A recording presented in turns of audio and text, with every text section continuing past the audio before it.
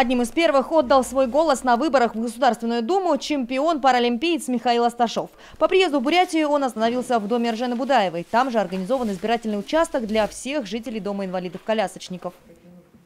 Я думаю, каждый должен это делать. Ну, если есть такая возможность, нужно выбирать э, своих кандидатов, которые будут помогать развивать нашу страну. Так же, как и во всем доме, на избирательном участке организованы все условия для маломобильных граждан. Напомню, выборы в Госдуму продлятся до 19 сентября.